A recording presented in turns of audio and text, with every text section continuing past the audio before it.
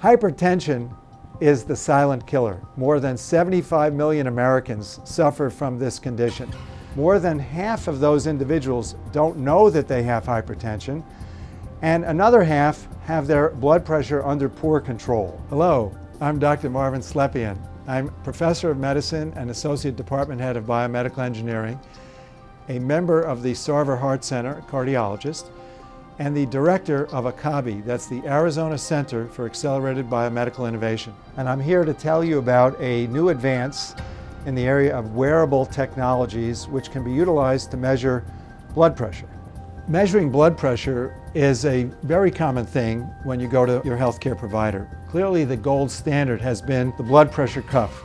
But even those only give you an intermittent determination. They give you a snapshot. It's like a flash photograph. Even environmental things may play into it. Maybe it's the weather. Maybe it's your temperature. Maybe it's the humidity. Maybe it's the dust. Maybe it's pollution. The reality is that blood pressure is a movie. It's a continuous process and you really need to understand the dynamics of that, not just an individual picture.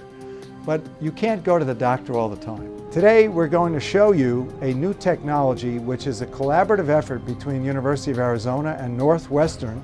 We're working on a new approach to be able to measure blood pressure continuously accurately, inexpensively, and innocuously using what we call wearable electronics. Our lab and our group here at U of A has been instrumental in bringing forward motion analysis systems that are now FDA approved.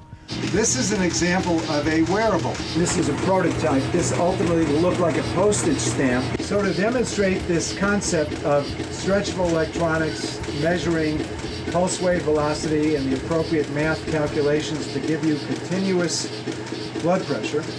We're going to use a system that we have in the laboratory which basically emulates or models a patient. At the University of Arizona, we have been leaders in the development of circulatory assist devices, particularly the total artificial heart.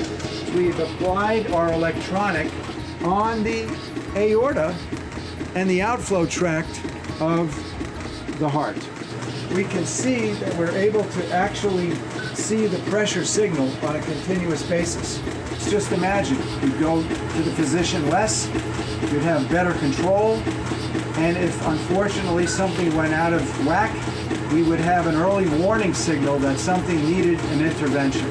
They will provide a almost continuous stream of data and lead to better blood pressure management a whole new area of information and science will emerge.